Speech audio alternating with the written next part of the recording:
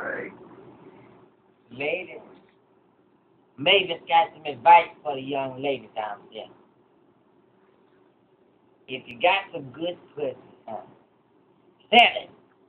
If it's fat pussy, if it's skinny pussy, if it's black pussy, if it's white pussy, sell it. Sell that pussy.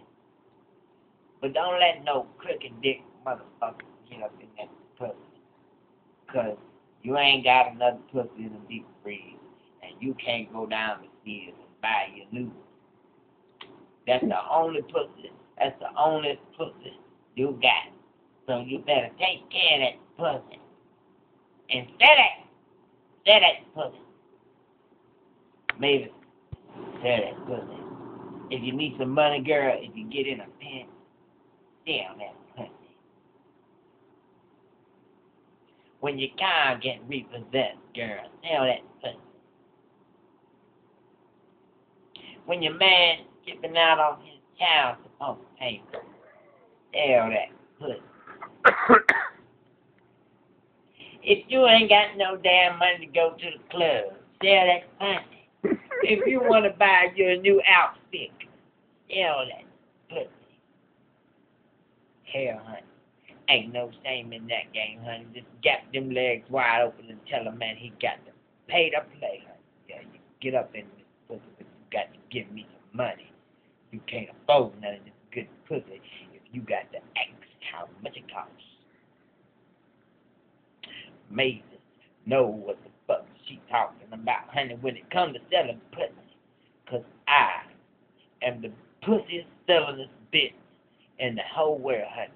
Mavis was a prostitute for many, many years, and she had the best pussy on Trade Street.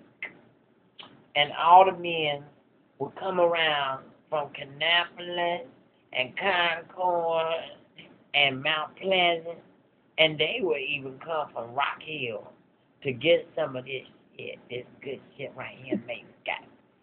I got something between my legs, baby, hot as July jam. But nowadays it don't get real wet, but it's still good, god damn. Mavis know what the fuck she's talking about when it comes to good pussy. You don't know good pussy like Mavis knows good pussy.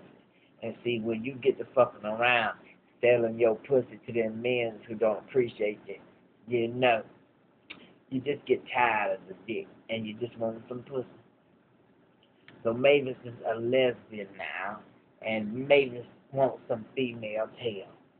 So if you're out there watching me in TV land, and you're a fine young lady and you got some good pussy, you can bring it to me, honey, and I'll sample it, and I'll tell you if it's worth selling, and I'll tell you what it's worth.